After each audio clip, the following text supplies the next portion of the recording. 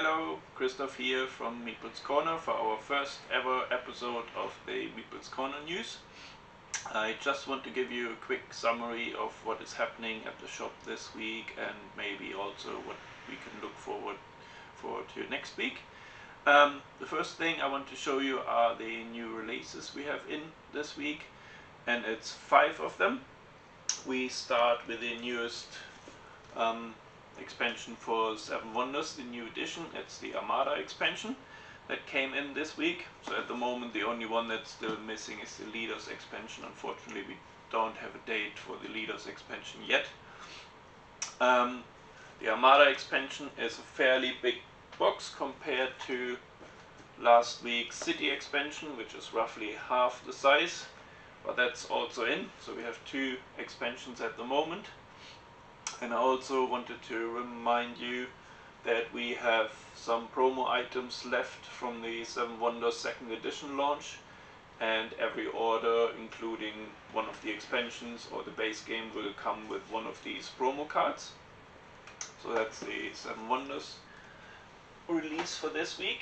And we have the second new game for this week is Pandoria Merchants.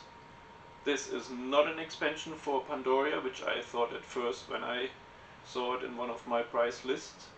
This is the roll and dice game, uh, roll and write game they, uh, Jeffrey Allers and Bernd, uh, Bernd Eisenstein developed and designed during the lockdown. And because it was quite successful and uh, there were a lot of people asking about buying it, they um, have now published it and it's available. It's apparently um, a nice way to get into Pandoria and it also includes a family version um, which makes it a lot more accessible so you can play it with your family and there's solo rules included. So this one looks quite interesting. Then we have Pendulum. That's the real-time strategy game from Stonemaier. That's uh, released last Friday. Um, it looks quite interesting. It's a bit hit and miss for some people because of the real-time um, element. But I remember back in the days when uh, Spiele released a game called Space Dealer and I really like it. So um, I'm looking forward to give this a go because one of the positive effects of the real-time element is it keeps the game time down and it's roughly 60 to 90 minutes with a full four player count and with two players you can easily play it under two hours. And the components in my opinion look quite nice. So that's something I'm going to try out soon hopefully and then maybe I can let you know about it. So Pendulum Stonemaier Games. And then we have a small game Village Green. It's a small card game uh, published by Osprey Games and designed by uh, Per Sylvester. I watched a few reviews yesterday and it um, gets really good reviews and first impressions and um, again it's one of the games at the moment which comes with solo rules so you can play it on by yourself, learn the rules, give it a go and then you can play with up to five people. Yeah, nice little game um, since the YouTube videos popped up there's a lot of interest in the games and we, we only have a few copies left but hopefully I can get a restock in soon even if the copies are selling out soon. So and then uh, one new release that's not available uh, yet because the official street date is on Friday but we already have the stock in.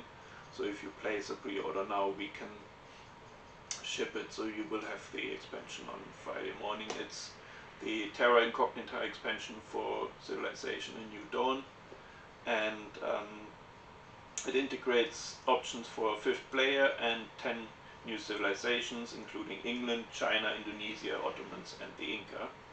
And uh, have a look at the back of the box.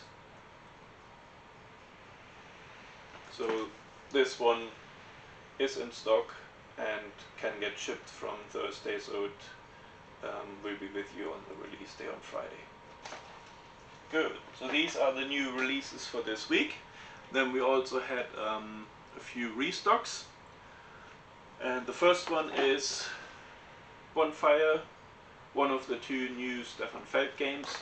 It's um, published by Pegasus. It came early last week, sold out within a couple of hours, and um, we managed to get more stock in, so that's available again.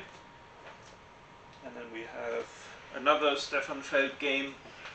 It's the Castles of Tuscany, the more beginner-friendly versions of his um, famous Castles of Burgundy. Again, the first delivery sold out fairly quickly, but uh, we have new stock from this morning, so again available to order now.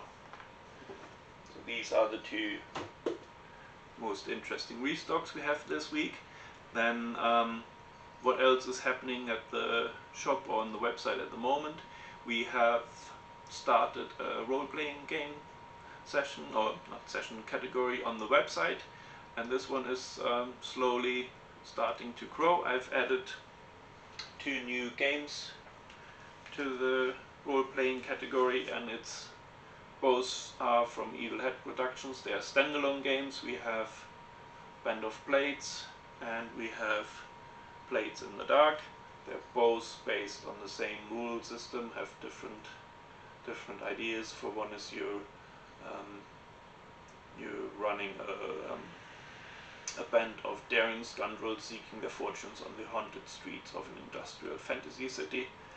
And then in this one you are part of the command structure of a legion uh, in retreat following a battle they've lost and now you need to manage the, the armies to get them back to your home base and while you're doing this you get attacked by an army of undead.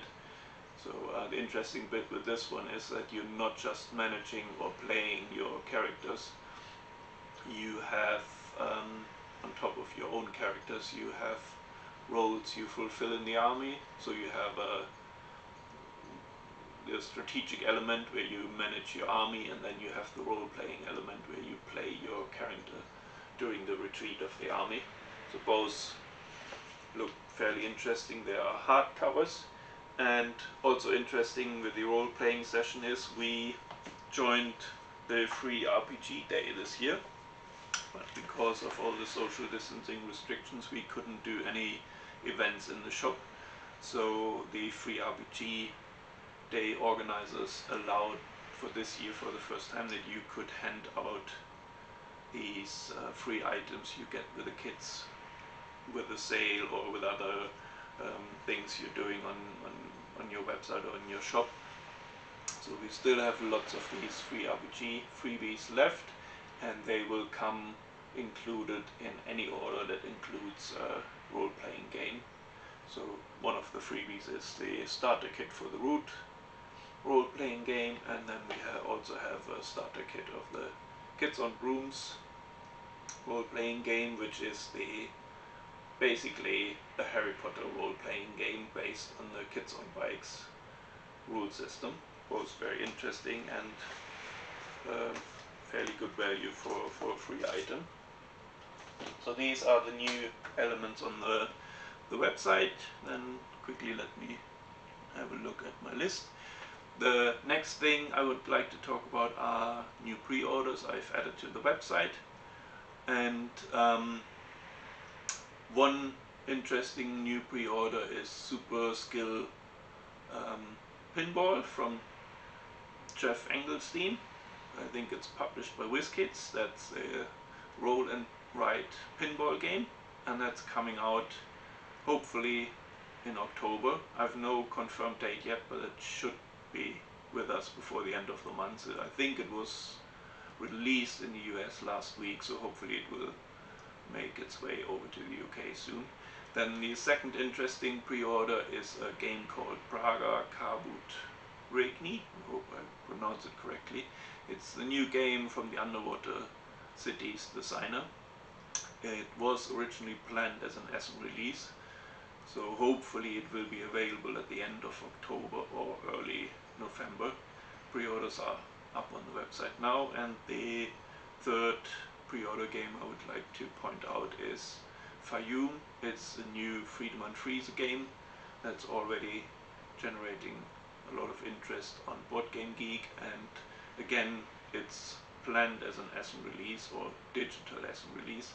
So hopefully um, end of October early November again as a release date. And then um, yeah these are the pre-orders and then what's going to happen next week is that we already have three confirmed new releases for next week.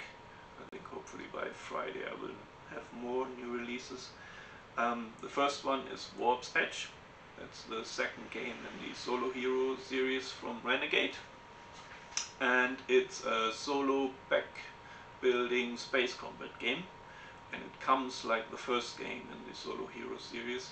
It comes with a choose your own path storybook, so it's not just um, a normal solo game, it also comes with a role-playing element in form of a storybook where you can choose your own path through the storyline.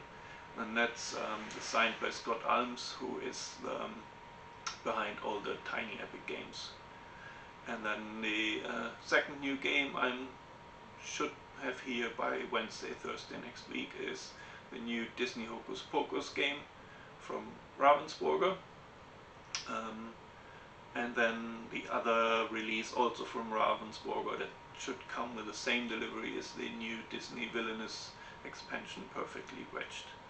Um, both of them should be here hopefully by Wednesday, Thursday deliveries from Ravensburger take a bit longer because they have limited number of staff in their warehouse. So yeah, um, this is everything I have to talk about for this week. If you have any suggestions what I can put into these new news shows then please leave a comment or send me a message and I will put links to all the games I've talked about in below the video in the description. So yeah, hopefully you liked it and see you next week.